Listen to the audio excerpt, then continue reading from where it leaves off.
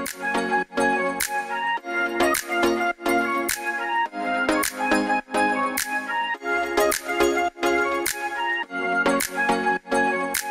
I'm Bao and I am currently working full-time in NTU as a research assistant. Uh, but on my free time, I am a maker and I also do my own 3D printing works. I wanted to materialize different works that I'm planning to do or doing during the school time. So uh, I don't want um, ideas to be just conceptual, but mainly um, works that people can see and touch. One of the challenges that I faced um, during the start of my learning how to 3D print is that I don't know how to do the settings. So a lot of times I have to do a lot of trial and error to make a certain part even be printable. It, because a lot of times um, people has the misconception of, oh, if I design this print, then I will just uh, press the print button and, and it works. But a lot of times it, it isn't like that. So I took a very long time just to know what settings to use for what design.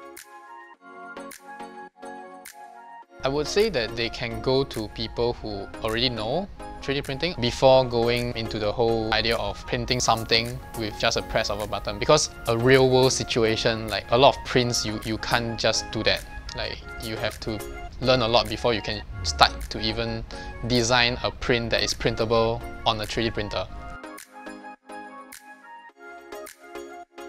Uh, firstly, if um, you are a beginner, uh, it's better to have someone advising you on how you can create your prints. Lah. Having people or maker coaches to teach you on the essentials of knowing what what settings you, you have to use when printing is the uh, most beneficial way when you are learning something. I think it's a good initiative because they have workshops for robotics, uh, coding and 3D printing and they also have uh, enough equipment to go around with the people who come here to learn.